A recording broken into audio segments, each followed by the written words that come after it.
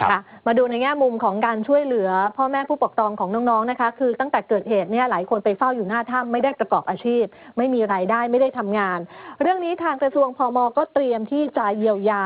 ครอบครัวที่ติดอยู่ที่ถ้ำหลวงนะคะรองปลัดกระทรวงการพัฒนาสังคมและความมั่นคงของมนุษย์คุณไพวันพลวัน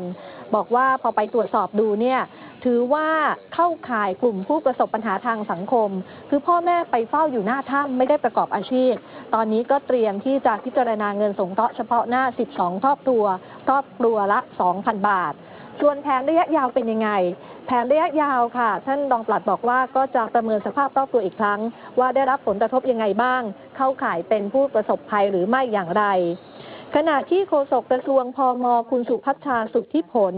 บอกว่าตอนนี้สังคมสงเคราะห์จังหวัดเชียงรายทำประวัติเด็กทำประวัติโค้ชทันทีที่ 13 คนออกจากถ้ำการทำงานก็คือส่งนักสังคมสงเคราะห์ไปเยี่ยมที่บ้านของทุกคน